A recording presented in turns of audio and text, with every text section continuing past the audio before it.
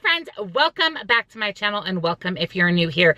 It is Friday at 6.30 in the morning. It is dark. I have some interesting lights happening here in my car, but I'm headed into my WW workshop to stay for the meeting, weigh in, and then I'm actually going to head to Jazzercise. It's kind of become my new Friday routine where I come weigh in and then I go work out, and I'm actually really loving it. I'm already out and about anyways, so I might as well get my workout in. So I'm gonna be doing that after my workshop, but I wanted to let you guys know before I go to weigh in how my week was. So my week was pretty good. Was extremely hungry this week, which I figured was partially because of working out and partially because guess what?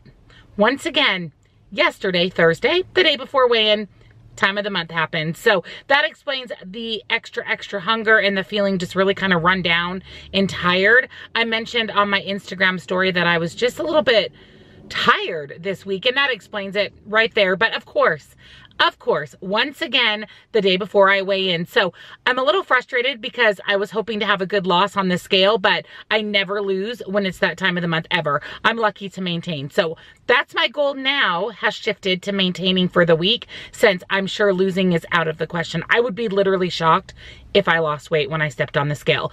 But on a positive note, I went to Jazzercise four times this last week four. So I got four workouts in, which is amazing. That's my goal again this week, four or five.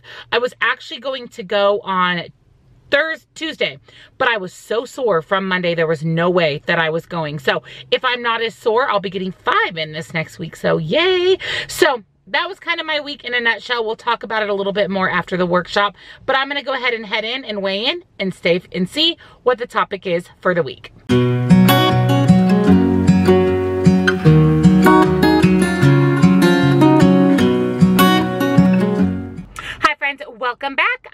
My WW workshop. What a great topic. We talked a lot about our mind and a mindset when it comes to our weight loss. You can fix your body, but you have to have your mind in place as well.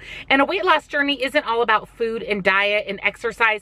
It is also about shifting your mindset and coming to peace with yourself in your current body and the body that is yet to come for you. So I love the idea of talking about mindset.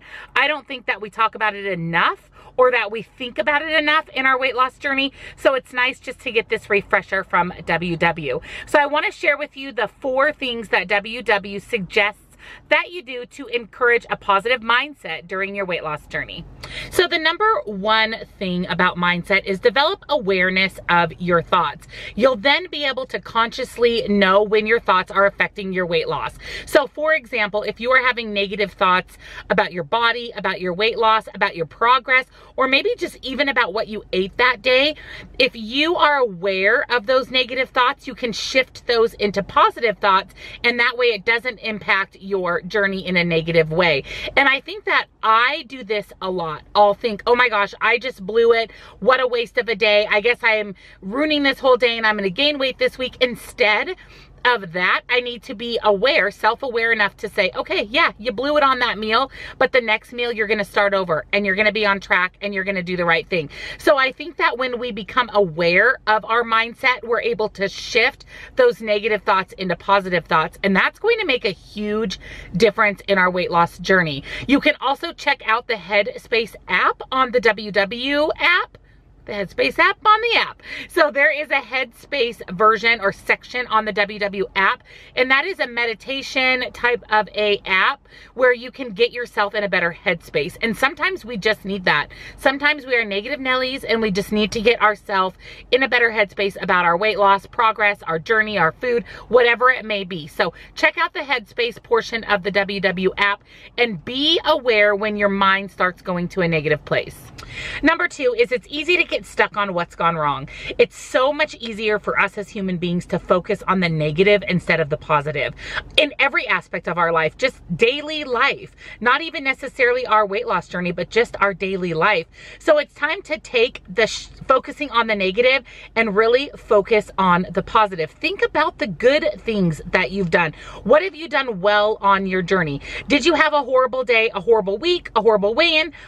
That's okay. Think back on what you've done well on your journey so far and focus on that and commit to yourself that you're going to do the positive things that you've done in your journey moving forward. And don't focus on the negative so much. I do this a lot. I, and I, I know this about myself is I tend to think about the negative things just in daily life versus the positive things. I have so many things in my life to be grateful for. So many. I mean, I couldn't even list them all. It would be its own separate video, but I always lean towards the negative things. And I think that that's part of being a human being, but we really need to be self-aware enough to be able to shift when we start thinking of negative into start thinking of positive. I think that's huge. I think that's huge in happiness in your daily life, your job, your family, your marriage, and in your weight loss journey. So I think one great tip that WW suggests is write down every day three things that you're grateful for. It literally takes two seconds. You can write them on a sticky note, a piece of paper, in a journal, your planner on your day of the month. Write three things that you're grateful for. And that automatically puts us in a headspace of positivity versus negativity. Number three is remember what's important to you. Remember your why. And we've talked about this several times. What is your why in your weight loss journey? That's what you need to focus on. For for me, I like to write my why on my Erin Condren planner at the top of each month because I'm constantly in my planner looking at what I have going on in my life and it's staring me in the face at the very top of my planner is my why on WW. And that helps me remember why I'm doing this journey. Why did I start this in the first place? It could be something as vain as I want to look good in my clothes or it could be health related or kids related. Maybe you want to be able to play outside with your kids. Remember your why and why you started this journey.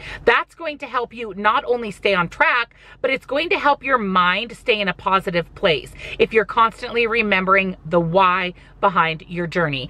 And you can even search hashtag 100 days of why on Connect and you can see other people's whys. And maybe that will inspire you and motivate you to remember your why. And number four is actually my very favorite one of the four that WW suggests. And that's basically giving yourself some grace. Treat yourself the way that you would treat a friend. If your friend came to you tomorrow and said, I have completely screwed up. I had 7,000 points yesterday. Would you say, oh my God, you're such an idiot. You've ruined your whole journey. You're going to gain weight on the scale. No, you would encourage them. You would say, it's okay. It's a new day. It's a fresh set of points. Just start over today. But what do you tell yourself? You're an idiot. You're going to gain on the scale. Why did you do that? So I think this is huge. And this is something, again, that I need to work on. This topic is actually really great for me because I do all of these things to myself. I never give myself grace. I'm the hardest on myself more than I would ever be on anybody else and more than anyone else is on me. I am hard on myself. So remember that, you guys. Treat yourself like you would treat a friend or a family member if they came to you with a struggle on their weight loss or if they came to you and said, I gained three pounds on the scale. You wouldn't put them down. You would say, it's okay. It's a new weigh in next week. Just get back on track. Do what you have to do to see a loss on the scale next week. And we need to take that same mentality and do that to ourselves. So, number four, hands down, my very favorite. I'm going to be definitely working on this because I am the queen of negative talk and treating myself like I'm bad when I make a mistake versus how I would treat a friend or a family member if they came to me with a struggle. So really remember number four. I'm sure I'm not the only one that this is a huge thing to remember. So give yourself a little grace and treat yourself like you would a friend. All right, so let's get into my weigh-in. So as I mentioned before, I went into my workshop. I actually had a great week exercise related, four days at Jazzercise, and I'm going today to start off another great week of exercise. So really proud of myself as far as activity goes for the week. My food was pretty good. I was a little bit extra hungry, like I mentioned this last week. So there were a couple of days that I had some extra points, but they were also the days that I worked worked out. So I didn't feel as guilty, I guess, of having those extra points. And as far as my weight loss goes, I felt really good all week until yesterday when the lovely time of the month started. Then all of a sudden, I started to question whether I'd see any type of movement on the scale this week. So I've been doing Weight Watchers a while and I know that when it is that time for me, I either gain or I stay exactly the same. I'm never gonna lose, ever especially when I'm starting right before a weigh-in day. So I knew that I wasn't expecting some grand gesture on the scale this morning when I weighed in. So when I stepped on the scale at my workshop, actually you guys, I lost 0.4. Shockingly enough, I actually lost weight and I started yesterday. So that was a huge surprise. I did not anticipate or expect that at all, but I'm going to take it. I'm happy that I actually lost 0.4. This was my last weigh-in for the month of January, so I lost a total of 3.2 pounds for the month of January. So that's a little less than I was hoping. My goal is five pounds a month, but it's okay. I know that there were some struggles this week, some or this month, some setbacks this month, and I'm ready to kick February and then you know what. So 3.2 total pounds lost in the month of January and 0.4 lost this week. So I'm happy with that considering everything. Um, but I'm also hoping that next week I see a much larger loss when this whole mess is over and I've continued great eating habits and exercise ha habits. I'm hoping to see a much better loss on the scale next week. So that was my week. I'm again happy with the overall results considering. So I want to hear how was your guys' week? Was it what you expected when you stepped on the scale? What were some of your challenges and where do you feel out of those four tips that I shared from WW on mindset? where do you think you fall? What is the one or two that you really feel that you need to work on? So definitely leave those down in the comments below for me. And also let me know your overall weight loss for the month of January if you're comfortable sharing. Only if you're comfortable sharing. If you're new to my channel, welcome. I do a weigh-in every single Friday. I have tons of fun WW information on this channel. So I'd love it if you take a moment and subscribe, stick around, join our family, hit the little bell so you're notified whenever I upload a new video. Make sure you're checking out the description box below. You're going to find the links to my favorite things as well as some codes and some separate links that will save you some money on your favorite WW products. Or maybe you want to try a new product, it's going to save you a little bit of money so that you don't feel so bad trying out those new things. If you loved this video and you're in for the weigh-ins, give me a thumbs up. It really helps my channel and I greatly appreciate it.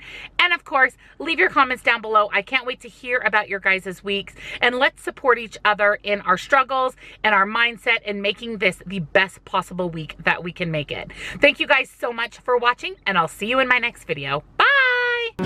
What's it like? to be the one that he turns to when he's sad